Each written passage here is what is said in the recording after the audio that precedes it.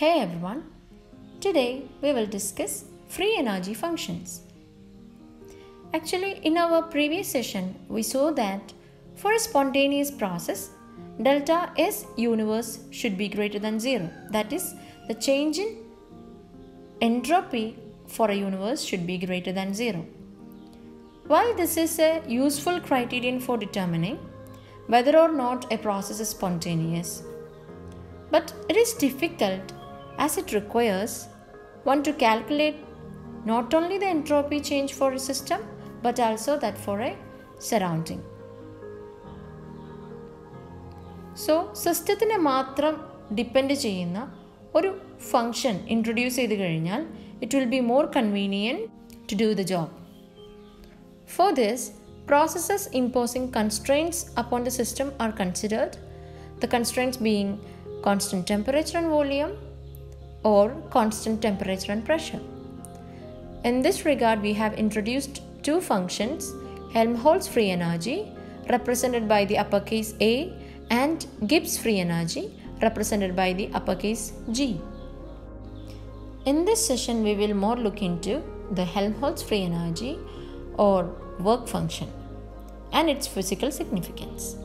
The work function or Helmholtz free energy or simply Helmholtz energy of a system is defined as uppercase A is equal to U minus Ts where A represents the Helmholtz free energy or work function and U is the internal energy of the system, S is the entropy and T is the temperature measured in Kelvin scale.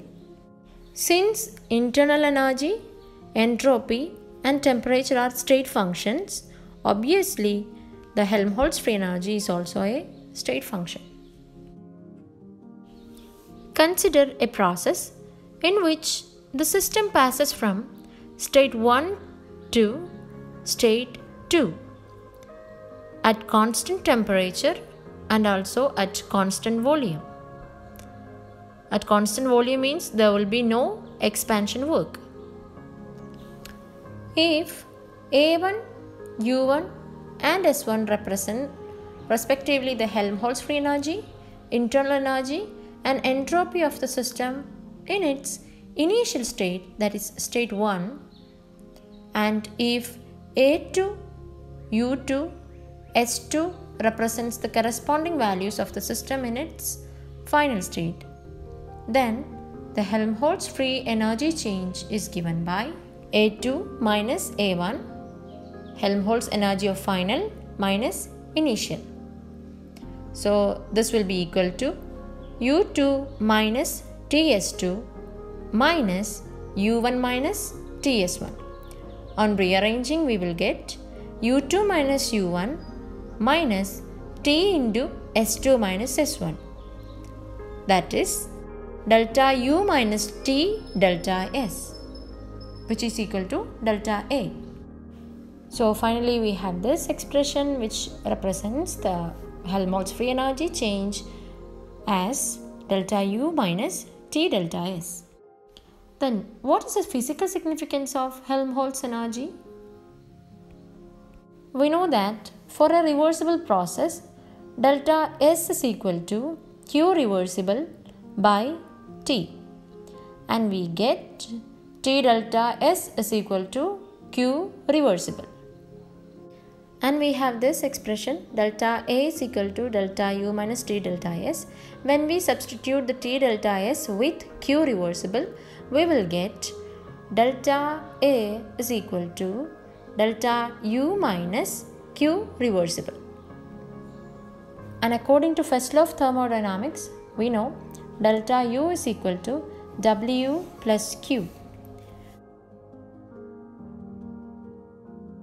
From here, we get W is equal to delta U minus Q reversible. And we have delta A is equal to delta U minus Q reversible.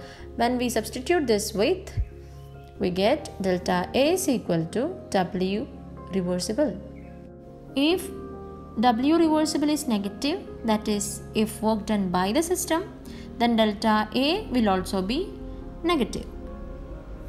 So it follows that for an isothermal reversible process, the decrease in Helmholtz energy is equal to the maximum work done by the system on the surroundings. Simply we can say delta A is the part of the change in internal energy that is delta U that is free for use to do work. Helmholtz free energy possesses an alternative name, the work function. So, this is the physical significance of Helmholtz free energy.